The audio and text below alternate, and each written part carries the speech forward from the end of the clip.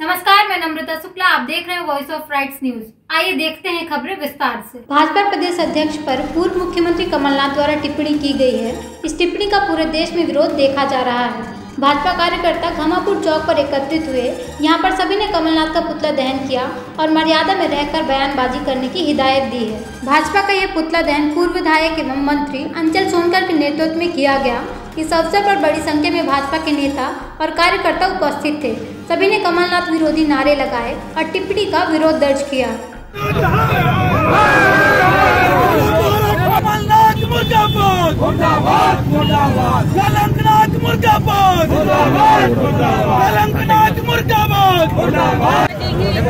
शर्मा जी के ऊपर जो टिप्पणी कमलनाथ जी ने की है हम सभी भाजपा पार्टी मिलकर उनका विरोध कर रहे हैं और यहाँ सभी वरिष्ठ नेता उपस्थित हैं। भारतीय जनता पार्टी हम सभी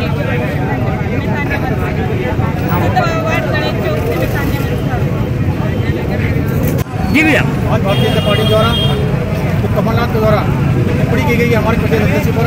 घोर निंदा करते हैं और कहा घर में उपस्थित हो गए हम लोग ने। तो पता किया और आगाह करते हैं कि ऐसी मानसिकता से उनका किसी प्रकार विरोध न करें। अगर कभी करना भी है उनके जीवन में जो उन्होंने उपलब्धि प्राप्त की है उससे तुलना करें।